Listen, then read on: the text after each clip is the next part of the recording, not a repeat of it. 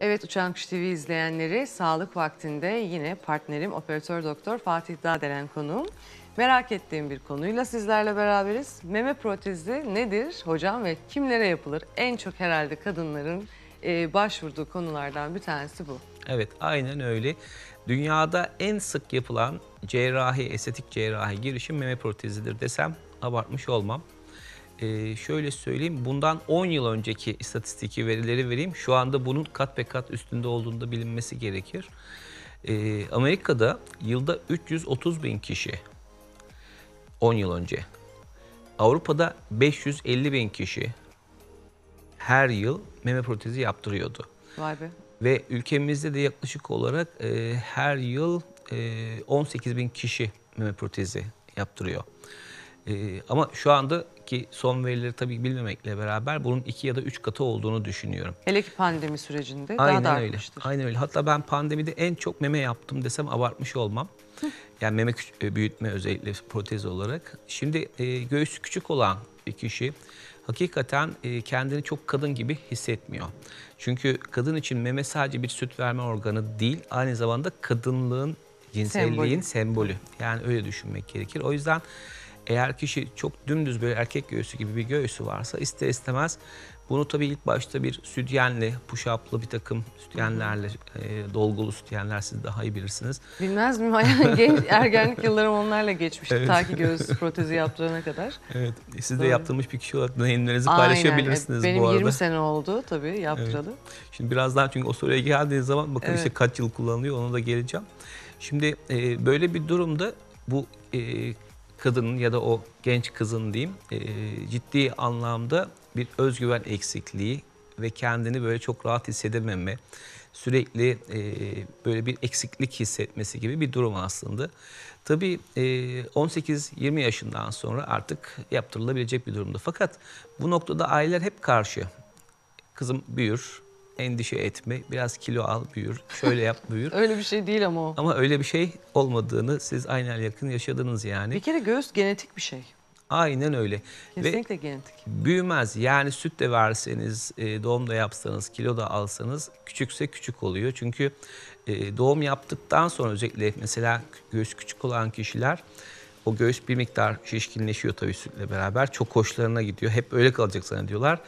E, bir süre sonra süt kesildikten sonra tekrardan eski küçük formuna tekrardan Ve geri dönüp birazcık da sarkmış oluyor süt Evet. vermeden dolayı. aynen o şekilde. Peki bu e, keçi memesi diye tabir ettiğiniz e, o tabir nedir?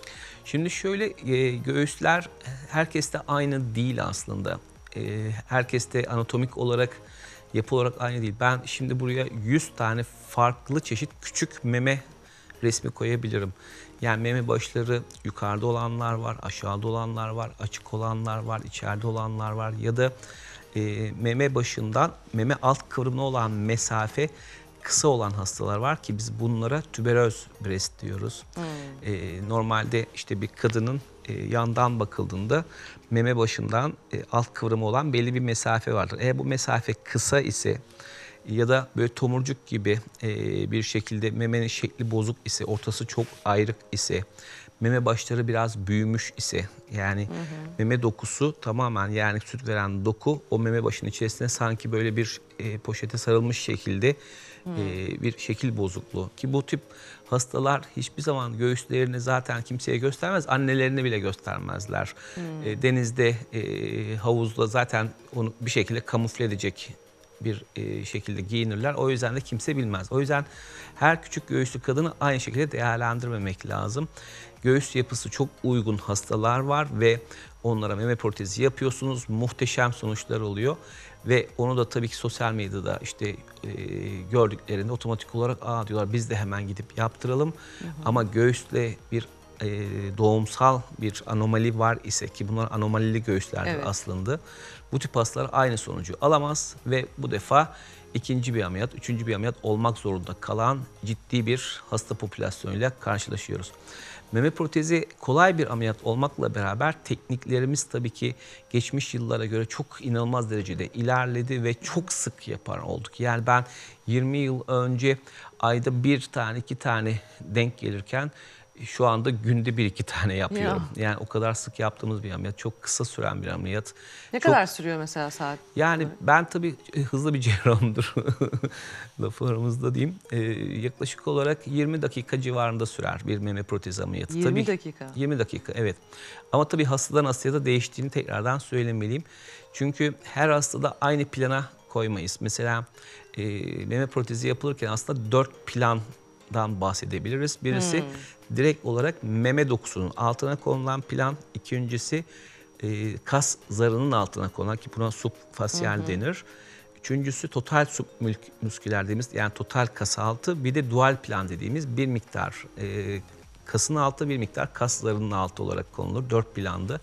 Bunlar tabii ki her hastaya göre farklı şekilde yapılır. Zaten e, bu işlem yapıldığında iyi sonuç alabilmeniz tamamen bu algoritmayı uygun hastaya uygun protezi, uygun büyüklüğü, uygun planı tercih eden ve uygun giriş yerinden hızlı bir şekilde, sorunsuz bir şekilde yerleştiren hekim bu ameliyatta başarılı olur. Hasta da çok mutlu olur. Diğer şekilde eğer hekim çok tecrübeli değilse, e, daha yeni yani e, başlamışsa bu işlere e, nihayetinde bu tip hastaların bir kısmı çok ciddi anlamda sorunlar yaşar ve sorun yaşadıktan sonra da o memeyi tekrardan toparlamakta çok zor bir hale geliyor. Ben hani kendi pratiğimde mesela 3 defa 4 defa başka yerde meme ameliyatları olmuş, sorunlar yaşamış pek çok hastayla karşılaşıyorum. Neler oluyor? Mesela asimetriler çok sık oluyor. Ee, yine bahsettiğiniz keçi memesi tarzındaki hastalardaki yanlış planlamalardan ötürü oluşan çok ciddi problemler oluyor. Göğsün ortası ayrık oluyor ya da birleşik oluyor. Normalde protezi yerleştirirken tam ortaya koymanız gerekirken siz o protezi eğer dışa, üste, alta ya da içe fazla bir şekilde koyarsanız ki bunlar zaten kolay hastalarda çok problem olmaz ama zor hastalarda, zor problemi olan hastalarda e, daha fazla uğraşılmıştır ama sonuç olarak da bir sürü problemle karşılaşılır. O yüzden çok teknik detayı olan, çok teknik e, bir takım e, tecrübe gerektiren bilgi, tecrübe ve yeteneğin tam böyle harmanlanıp yapılabileceği, yapıldığında da çok güzel sonuç aldığınız bir operasyon. Hem kısa hem efektif ve kişiyi anında mutlu eder. Yani ameliyatı yaparsanız akşamına yani gül oynaya hasta evine gider ki ben böyle yaşıyorum en azından hastalarımda. Aynı gün çıkabiliyor mu? Aynı gün çıkıyor hastalar. Ameliyattan sonra ben diren kullanmam. Yıllardır yani 15 yıldan beri diren kullanmıyorum hastalarımda. Neden? Şimdi şöyle e, memede eğer iyi kanama kontrolü gerçekleştirirseniz yani artık o bölgenin anatomisini ezberledim yani hangi damarı nerede göreceğimi biliyorum. O yüzden e, çok sık yaptığım bir işlem. Ondan dolayı da kanama ile ilgili problem olmuyor. Çok nadiren hastalarda hafif böyle bir morluklarla karşılaşabiliyoruz ama o da son derece normal. Onun için diren de kullanmak gerekmiyor. Peki direnin e, artısı eksisi nedir? Direnin artısı ne? Direnin artısı şu. Yani o morlukla hiç karşılaşmıyorsunuz belki. Fakat bunun için belki iki gün, üç gün kullanmanız gerekiyor. Bana İki- diren konmamıştı mesela. Ablama konmuştu. Oradan hatırlıyorum. kullanmamak daha mantıklı. Ben yani kendi 20 sene önce koymamıştı yani. evet ben eskiden kullanıyordum yani şimdi kullandığım dönem de var, kullanmadığım dönem de var. O yüzden çok iyi bunu ayırt edebiliyorum. Eksisini Eksisi ne? Şimdi diren olduğu müddetçe sürekli kan çeker.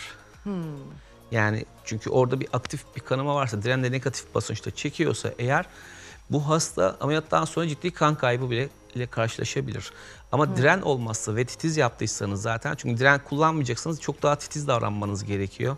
Her damarı bulmanız gerekiyor. Yani diren aslında bu mesela 15 yıllık süreç içerisinde 2-3 hastaya kullandım. Onlar da gerçekten kanamanın fazla olduğunu düşündüğüm hastalardı. Yani Peki bunları neden kanama olur? Damar damara geldiği için. Damara geldiği için tabii da- damarlar çünkü orada direkt olarak kas altı ya da kas üstü kullanabilirsiniz. Oradaki damarlar direkt olarak alttaki kaburga kaslarının arasına ilerler. Ve siz onu oradan bulamazsınız. Bulmaya çalışırsanız akciğere girmeye çalışırsınız. Yani Oo. kaburgaya da sıkıntı yaşarsınız. O yüzden diren e, kullanmayı ben e, kendim olarak söyleyeyim. Ben kullanmıyorum genel anlamda. Hafif morluklar olduğunda onlar da geçiyor zaten. Bu anlamda e, tekrardan açıp Aa bak bunda kan birikti hadi boşaltalım dediğim hastam oldum hatırlamıyorum. O yüzden çok gerekli görmüyorum. Peki e, nereden açıyorsunuz?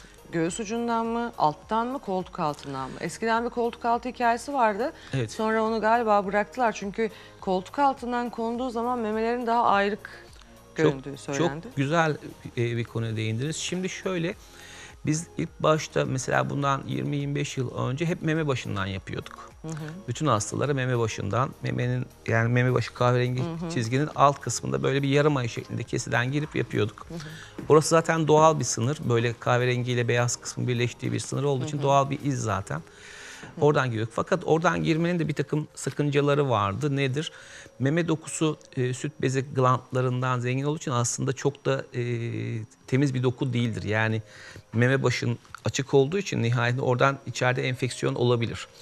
E, normal şartlarda hiç bir kadın hiçbir şey olmasa bile mastiti olabiliyor. Halbuki dışarıdan bir mikrop almamış nasıl mastit oluyor? Aslında süt bezi kanalları da aktiftir yani pek çok insanda. Ee, o yüzden e, meme başından yapıyorduk. Fakat daha sonra meme başından yaptığımız hastalarda bir takım bu bahsettiğiniz asimetri problemleriyle karşılaşınca biz alta doğru indik. Yani alttan kesmeye başladık. Bu dönem içerisinde tabii koltuk altından yerleştirmek ki biz aksiller plan deriz. Bazı hastalar özellikle ısrarla aksiller dediğimiz koltuk altından girmeyi isterler. Şimdi ben burada hep şunu savunurum. Yani tamam göğsünüzden yapıldığında bir iz kalıyorsa her yerden iz kalır. Tabii. Yani koltuk altında da iz kalır. Koltuk altı açık daha çok gezersiniz. Yani kimse göğsü açık gezmez. O yüzden Çok hani- doğru. Hayır, saçını toplarsın, bir şey Evet, yaparsın. evet. Aslında koltuk altı daha yani çok açık. orada da bir iz var. Sonuçta o iz yok diyemeyiz. Yani sıfır bir izden bahsetmiyoruz. İz kaliteniz iyiyse, koltuk altında iyiyse diğer tarafta da iyidir. Tabii. Bir de öyle düşünmek lazım. Ama yine de bu şekilde isteyen hastalarım var. Hmm. Hiçbir şekilde anlaşılmasın. Yani koltuk altına başka bir işlem yaptırdım diyebilirim diyor. Ama göğsü deki izi kabul etmiyorlar. Hmm. Koltuk altından da yapabiliyoruz. Koltuk altından yapıldığında ki sık yaptığım bir şeydir. Onu da söyleyeyim bu arada. Ama Fakat tabii ki göğüs yapısı da önemli burada. aynen öyle. Her yani hastaya müsaitse koltuk altı. Aynen öyle. Her hastaya yapılamaz. Hasta ısrarla istiyorsa yapılabilir. Problemleri biraz daha fazladır. Neden? Çünkü koltuk altından şu Hmm. Lenfler alttaki var. lenfle girmiyoruz. Çünkü o biraz daha önden girdiğimiz bir şey. Hmm. Koltuk altından girildiğinde simetriyi sağlamak biraz daha zor. Tabii. İkincisi e, geç dönem ve erken dönem sorunları biraz daha fazla. Mesela Mesela asimetri daha fazla olabilir. kayma Asimetri. mı? Kayma demeyeyim de yerleşim olarak. Hmm. Tam çünkü kas altına koyduğunuz için kasın altında şimdi Kolun altından bir de kas altına mı giriyorsun? tabii kas altına Kol giriyorsunuz. altından meme e, dokusuna koyabiliyor musun? Kas Meme üstüne? dokusuna da konulabilir ama daha ziyade kas altı konulur koltuk altından. Tabii oradan direkt kasa Evet, girmek. direkt kasın mantıklı. altına girmeniz gerekir ve orada asimetriyle e, karşılaşma ihtimaliniz biraz daha fazla. Ne kadar tecrübeli olursanız olun. İkincisi e, bir diyelim ki kanama oldu ya da değiştirmeniz gerekti. Bakın 10 sene geçti, 15 sene geçti. Hadi değiştirelim. Koltuk altından hadi bu defa alttan açmanız gerekir. Bir başka iz. Niye? Çünkü oradan hem çıkarmak zordur. Zor, tabii. evet daha, daha problemlidir. O yüzden e, yani yeni bir insizyona gerek duyulur Hmm. falan filan. Yani bir sürü şey söyleyebilirim. Nihayetinde şu anda bütün dünyanın kabul ettiği ve yüzde 95 diyeyim hekimin tercih ettiği alttan küçük bir iz. Zaten orada 4 4,5 santimetrelik bir izle giriyoruz yani Aynen, kısacası. aynen. Çok belirgin de olmuyor ama yine de ben hastalarıma daima saygı duyuyorum. Nereden isterlerse oradan yerleştirebiliyorum. Bunun dışında asıl problem zor memeler. Yani zor memelerde mesela koltuk alttan koyamazsınız. Bunu hiç düşünmemek lazım. Çünkü riske girmenize gerek yok. Çünkü altta çok daha görsel olarak yakın bir mesafedesiniz. Simetriyi çok daha iyi bir şekilde sağlayabiliyorsunuz. Daha sorunsuz yapıyorsunuz. Bu konudaki pek çok meslektaşımın da pratiği benim gibi çok gelişmiş durumda. Yani alttan koymak artık bu konudaki rutin. Bazı konularda illa e, maceraya atılacağım ya da zorlayarak bir iş yapacağım diye düşünmemek gerekiyor. Burada ikincisi e, bu keçi memesinden bahsettik, giriş yerlerinden bahsettik. Ee, önemli olan bir şey de büyüklük konusu. Şimdi büyüklük mevzuunda da şu çok önemli. Hastalarımız mesela e, büyüklük konusunda daima endişeliler. Acaba büyük mü olacak, küçük mü olacak? İşte ben büyük istiyorum ya da ben küçük istiyorum. Herkesin kendince bir isteği var. Nihayetinde bunu karar verebilmek için de bu ameliyatı sayısız yapmanız gerekiyor ki hastanın hem daha iyi algılayabiliyorsunuz, anlayabiliyorsunuz. Onun beklentisini daha iyi algılayabiliyorsunuz. Hem de hastanın vücut tipine uygun bir şekilde yapıyorsunuz. Şimdi bu amaçla mesela sizer'lar yani deneme modelleri kullanılabilir. İşte koyup değiştirirsiniz, bakarsınız ameliyat esnasında. Hastaya sorma şansınız olmaz bunu ama siz en azından hastanın vücuduna göre sizer'lara kendiniz bakıp deneyebilirsiniz. Ben e, Sizer kullanmıyorum. Çünkü Sizer kullandığımız yani bu deneme modelleri kullanılan hastalarda kapsül dediğimiz sertleşme, kapsüler kontraktür riski daha fazla oluyor. Çünkü memeye bir sürü yabancı madde sokup çıkarıyorsunuz. Orada bir sürü enfeksiyon yapıyorsunuz. Tabii. Bu benim istemediğim bir şey. Ben mesela kendi pratiğimde yine dediğim gibi e, hastalarıma bir sütyen giydiriyorum ve bu sütyenin içerisine hastayla konuştuktan sonra onun istediği büyüklükteki protezleri teker teker deneyerek karar vermeye çalışıyorum ve çok da başarılıyım bu hususta. E, neden diyeceksiniz? Çünkü hastalarıma gerçekten çok iyi anladığımı düşünüyorum ve onlar da kendi isteklerini kendileri belirttikleri için bunu da nasıl yaptığımı söyleyeyim. Mesela hastaya soruyorum büyük mü istiyorsunuz küçük mü istiyorsunuz? Mesela örnek olarak hasta diyor ki ben işte büyük istiyorum örnek. Küçükten başlayarak yukarı doğru 25-25 artırarak çıkıyoruz.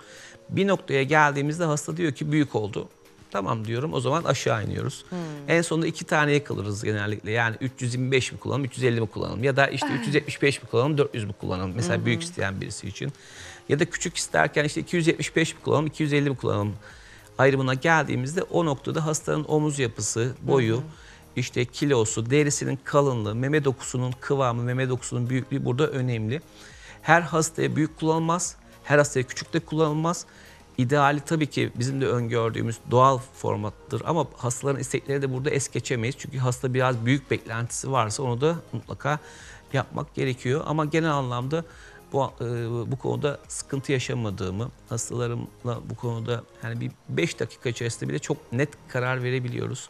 Çok kararsız değilse güzel yapıyorsunuz ama hastanın bir yakını çıkıp ha keşke daha büyük yaptırsaydın dedim mi işte felaket o zaman kopuyor aslında. Ay onu Yani- onu yani zaten etraf ya Allah'tan ben çok küçüktüm yaptırdığımda da. Evet. e, gerçi şöyle de bir şey hani ilk yapıldığında zaten Evet. büyük oluyor. Zaman Evet. içerisinde birazcık daha in, ödem geçiyor. Evet. Ondan sonra e, zaten yer çekimine de meydan okuyunca daha göğüs formatına geliyor falan.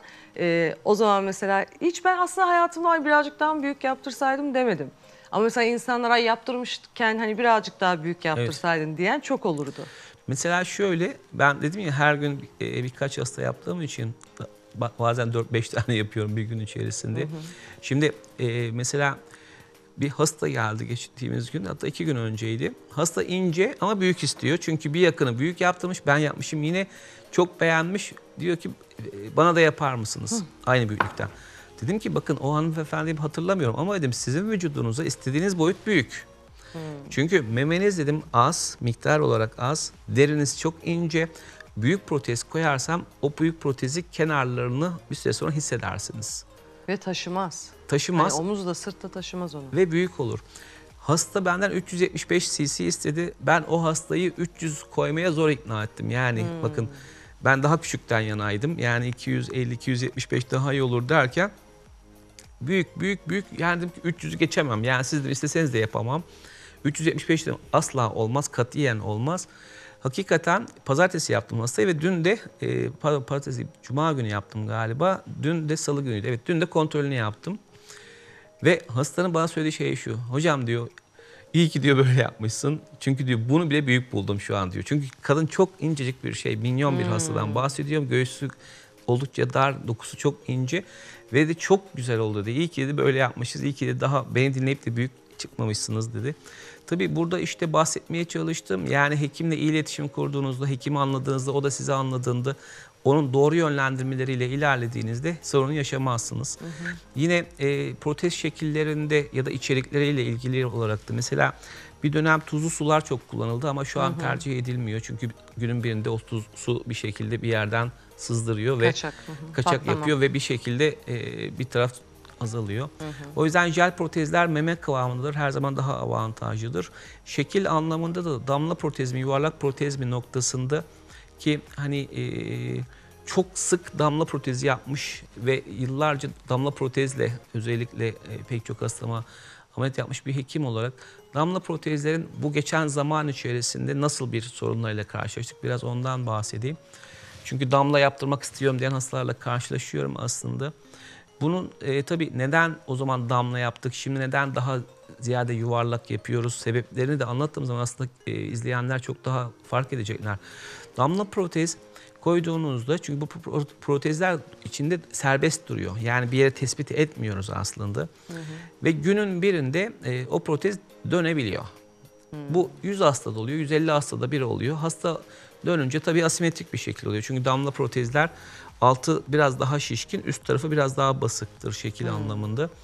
Ve dönünce hasta diyor ki asimetrik oldu. Bakın işte protezim kaydı. Aslında kayan bir şey yok. Sadece protez döndü. O yüzden bu riske hiç girmek artık istemiyorum. Daima yuvarlaktan yanayım. Çünkü yuvarlak protezler de yer çekimini aşağı ya- ayakta durduğunuzda zaten aşağı kısmı daha dolgun duruyor. O yüzden damla protezi taklit ediyor aslında bir aynen anlamda. öyle. Aynen öyle. O yüzden hani e, hastalara bunu izah ettiğim zaman artık eskisi gibi illa damla yaptıralım ki bir ara trendti yani herkes damla damla damla. Evet. Şu anda normal rutine geldik çünkü bizim de tecrübelerimiz, bilgi birikimlerimiz gelişti. Tıpta bakın şunu e, defalarca söylerim. Hiçbir şeyi kesin yüzde yüz diyemeyiz. Bu benim bilgim için de geçerli. Her hasta için de farklıdır. Onu da bahsedeyim. Bakın bir Covid bile her hastada farklı seyretti biliyorsunuz. Kesinlikle. Bu protezler için de geçerli. Artı bizim deneyimlerimiz, tecrübelerimiz de her geçen gün artıyor. Şu anda geldiğim nokta bu. Yarın başka bir şey olur, başka bir şey de söyleyebilirim. O yüzden hiçbir söylediğimizi, hiçbir do- doktorun söylediğini yüzde yüz olarak kabul etmemek gerekir. Tabii. Çünkü e, tıpta her şey bilimde daha doğrusu gelişiyor, değişiyor. Mesela şu an yuvarlak protezler kullanıyoruz. Çok da memnunum. Hakikaten sıkıntıda da karşılaşmıyoruz. Büyüklük anlamında da sorun olmuyor. Buradaki en büyük sıkıntı hastanın e, özellikle sarkık bir memesi varsa bu hastaya protez mi koyalım, protez artı dikleştirme mi yapalım endişesi oluyor ki bu noktanın da belli kriterleri var. O kriterlere uygun bir şekilde davrandığınızda yani bazı hastalara sadece protezle o sarkıklığı toparlayabilirken bazı hastalara beraberinde dikleştirmeniz de gerekiyor. Yani o şekilde ilerliyoruz. Ee, protezlerin ömrü konusunda az önce siz söylediğiniz 20 Evet son olarak da ona evet, değinelim. 20 yıldır kullanıyorsunuz bakın mesela ve- Maşallah diye ve- tahtaya vuralım hemen. Aynen ama tabii ki e, kontrol ediliyor. Yani belli bir süreden sonra bu protezlerin e, sürekli ultrasonla bakılması Evet. gerekiyor. Kenarları iyi mi, düzgün mü vesaire. E, iyi olduğu sürece kalmasına sakınca yok dedi Ben doktorum. daima şunu söylüyorum. Protez ameliyatı servis gerektiren bir ameliyattır. Yani bir araba aldınız, araç aldınız değil mi? O aracın belli bir süre alına işte servise götürürsünüz, kontrol ettirirsiniz ki o araç uzun bir şekilde, sorunsuz bir şekilde ilerlesin. Tabii ki. Şimdi e, siz hekiminizi iyi tercih ederseniz, bakın sizin ameliyatınızı yapan meslektaşım benim çok sevdiğim bir arkadaşım ki 20 yıldan beri kontak halindesiniz. Yani meme protezi yaptırdığınız hekimle uzun yıllar beraber yaşayacaksınız. Çünkü Tabii ki. 2 yıl sonra, 5 yıl sonra, 10 yıl sonra bunun gerekli kontroller olacak. Yine o doktor sizin doktorunuz unutmayın. Tabii. O yüzden de bu tip işlerde sakın ola hani kalitesiz ya da tecrübesi az ya da bu konu deneyimi fazla olmayan hekimlerle yola çıkıp daha sonra ciddi sorunlar yaşamayın. Bu en özellikle altını kalın puntolarla çizdiğim bir son sözüm olsun. Çok teşekkür ediyoruz efendim. Evet, e, stüdyomuzda e, partnerim operatör doktor Fatih Dağdelen'i ağırladım. Programımız devam ediyor.